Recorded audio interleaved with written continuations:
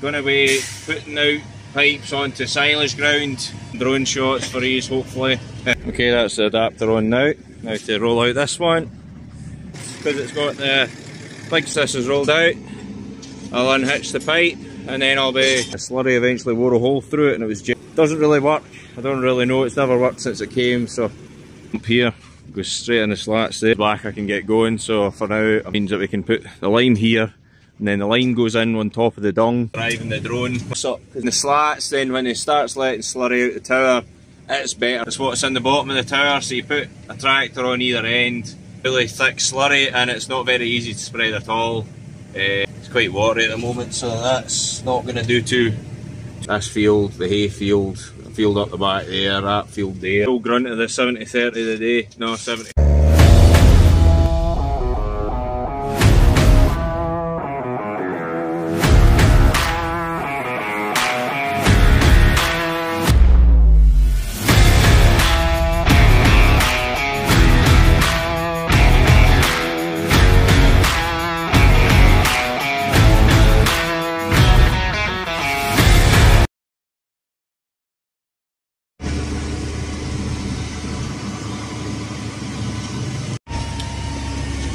Just rolled up all these pipes I've got in the back.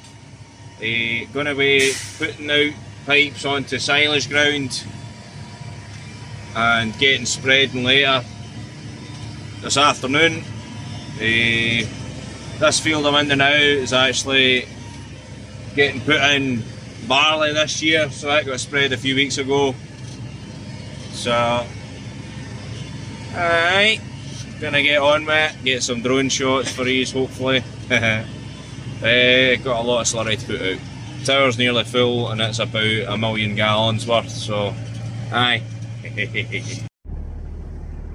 what an absolute stonker of.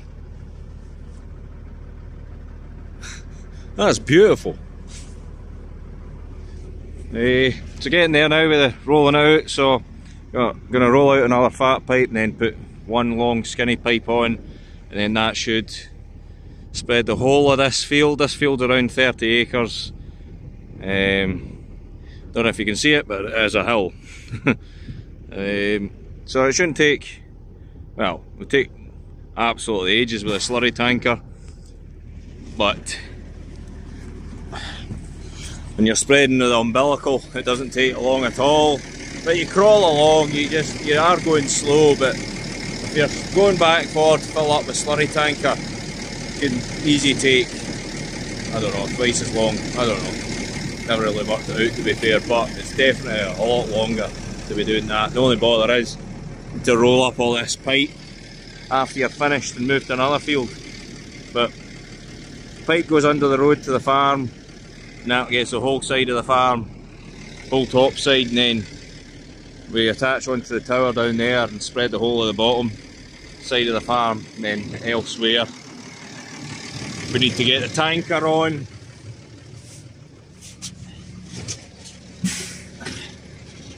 To take it further away or to the fields that aren't set up or easy to get to with this. So that's me dump the hydraulics to the back. So this will just roll out so.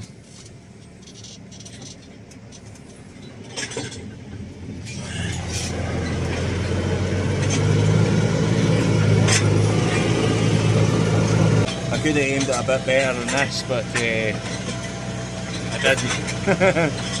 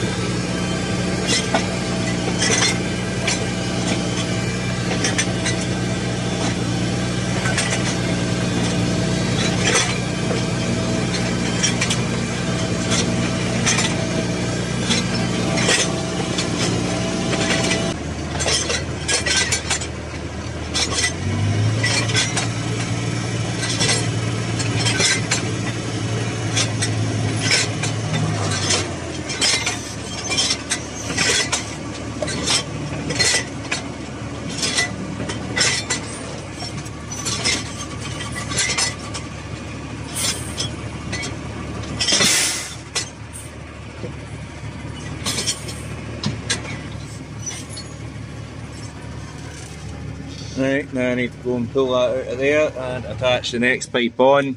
I've got an adapter that puts it from the fat pipe down to the skinny pipe. A lot of folk only use skinny pipe, we use the fat stuff to a certain point and then use the skinny stuff because it means we can pump it further. Makes a big difference to get pumping it longer distances.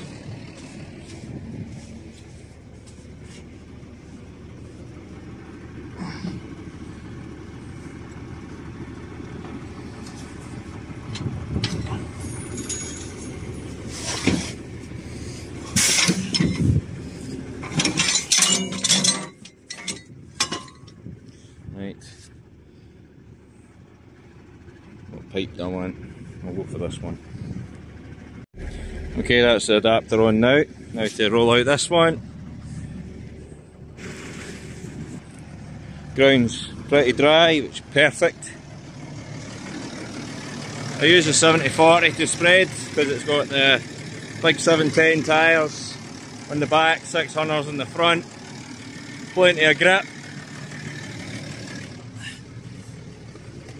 We used to use the TM190 for that reason as well, on the umbilical. But we sold it last year to buy this.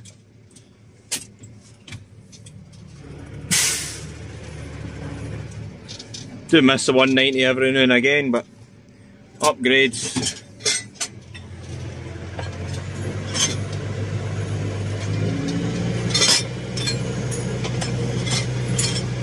So once this is rolled out, I'll unhitch the pipe and then I'll be away down to get the splash plate and then shortly after that I'll be going. So I've got the splash plate on now. We actually homemade this back plate. Um, the old original one that came out of here. It was too thin and the slurry eventually wore a hole through it and it was jetting out the top. So between one hanger and another we've welded up plates and that works fine. Uh, so splash plate sluice gate uh, sluice gate valve here. Doesn't really work. I don't really know. It's never worked since it came so it's just probably need to have a look in it but we don't really need it to be honest. Uh, this this spins and that's what stops the pipe. All twisting up or tries to stop the pipe all twisting up and this is just so that the pipe follows the tractor better.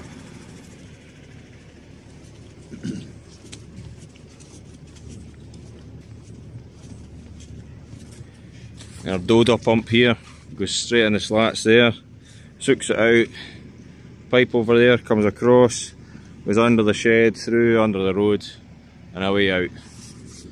Dad's away at the moment because the Hardy splicer's gobbed on the other side. So he's going to be getting it sorted at the local garage. And then when he comes back I can get going. So for now I'm just going to do a couple things here. I've got three loads of lime coming so I'm going to clear a space against the wall. This just means that we can put the lime here and then the lime goes in on top of the dung. When we're spreading it with a dung spreader. And it just gives the field a wee top up of lime and keeps everything keeps everything right, keeps the soil right so lime helps. So just going to shift some stuff with the forklift here. So dad's just fired up the slurry pump and that's me just getting into the tractor because I wasn't sure what was happening. So you can see the pipe inflating and now I'm waiting on it coming out the back of the tractor here. So Get a second. There we go. That's me spreading now. I'm off ski.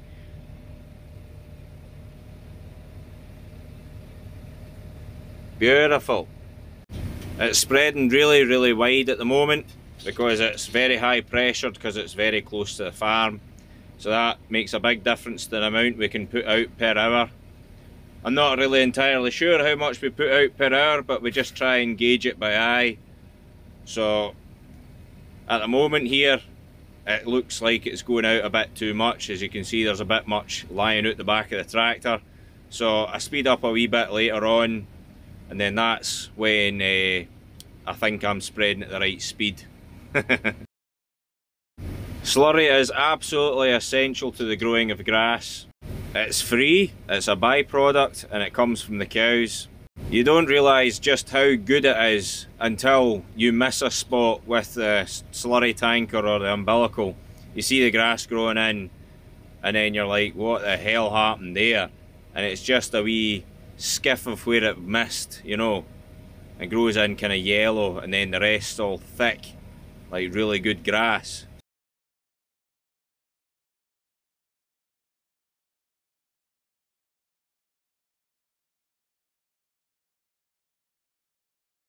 So this was me driving down to the end of the field. This was the first kind of half run, if that, not really sure. Probably not that far. Then I have to do a kind of three point turn. Because the pipe's actually that heavy, it'll drag the tractor around. Wouldn't have believed it like, but as soon as you start turning, the front end just wants to start swinging back straight again because of the weight of the pipe. So you've kind of speed up at the end to turn quicker so there's no too much slurry getting left in the ground. Do a wee turn. I'm not actually spreading right into that bottom corner because it is a bit of a bog. The There's a drain gob there that goes under the farm. It's needing unchoked and has been for a wee while. But we'll get there at some point. Just look how beautiful that tractor is. Oh, 300 horsepower. yep, as somebody said, you're never going to hear the end of it. 300 horsepower, absolutely amazing. so, takes a wee while to spread, as I said before, just because of the speed, but it's definitely a lot faster than spreading with a slurry tanker. Because at this point I would probably have the tanker empty and I would need it to have went back and filled and that would have been one load out. But this will just keep going and going and going. It's brilliant. Whoever invented it is a bloody genius.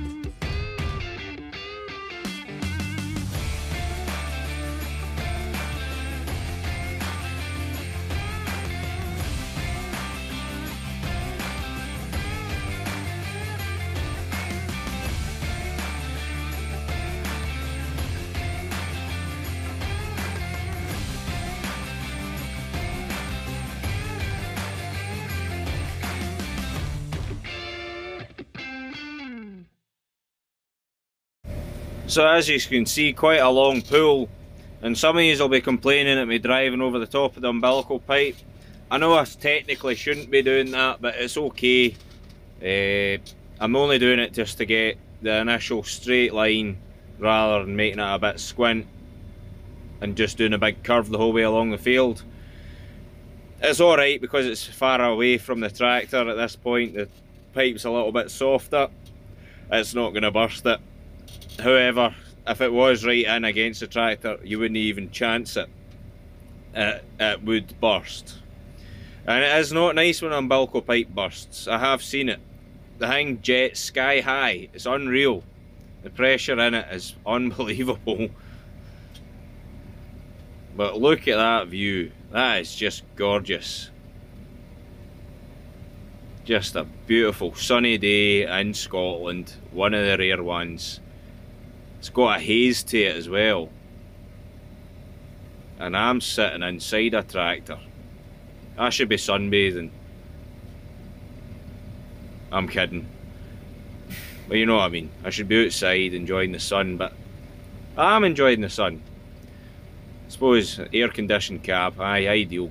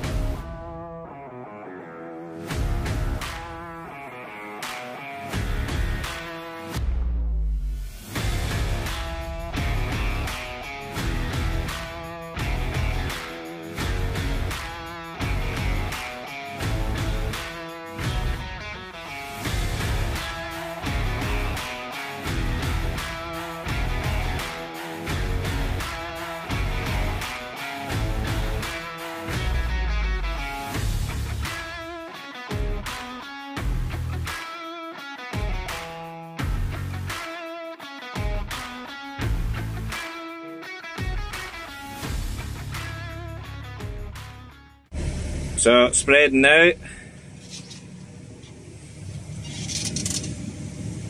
Back windows need a wee wipe, but that doesn't overall affect me seeing where I'm going. Uh, there'll be a couple of wiggles likely when I'm driving the drone whilst uh, trying to spread at the same time, but aye, it's uh, some job, you know, so to spread the fields diagonally with the umbilical right up to the top corner, spread right across down to the bottom over there. And then drive straight back across then spread the other side right to the other corner. That seems to be the best way to spread the umbilical. Um, so as I said before pumping all the way down to the farm over there. Right up. And then down to here. This isn't that far at all. This is this is very short. As you can see here I'm doubling this up because it's quite thin. Not a lot. Well, the slurry's quite thin at the moment, uh, just till it gets to the thicker stuff in the slats, then when it starts letting slurry out the tower, it's better mixed. Slurry separates, so uh, we've got two boat boat propellers basically.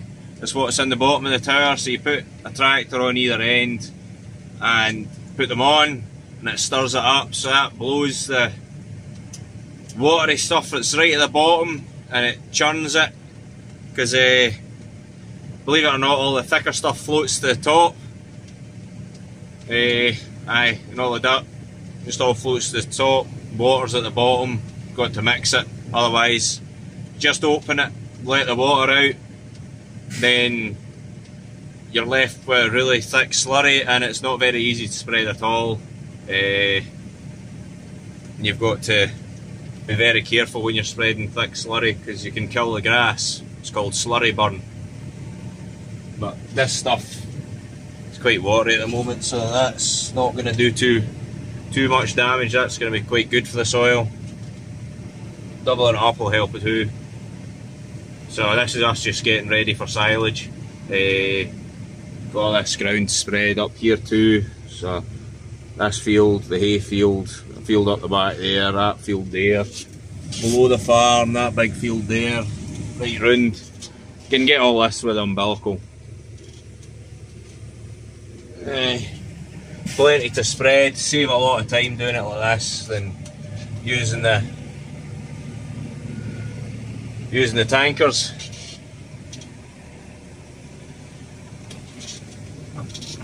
not really getting to see the full grunt of the 70-30 today, no 70-40.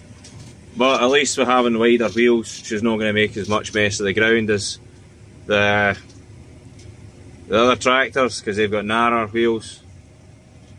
This helps, so the ground's really tender for tankers. I tried a couple of loads yesterday, it was useless. So, kind of regretted it a wee bit. So, umbilical a day, just get going. So, Hey.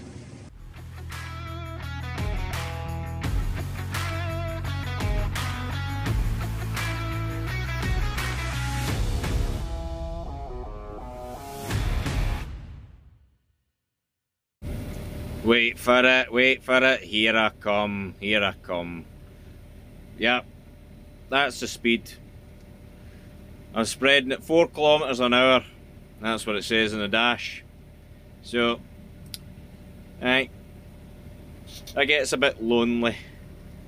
That's why you phone a friend when you're spreading on the umbilical, but they might not be interested in speaking to you because you are just sitting on the umbilical and they'll be busy.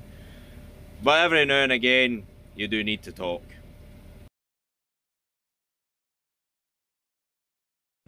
Getting there now, it doesn't feel like you're getting anywhere because of the speed you're doing, but overall, looking pretty good. Doesn't look pretty good out the back window. See when it gets really windy and it starts blowing over the back window, oh you know all about it.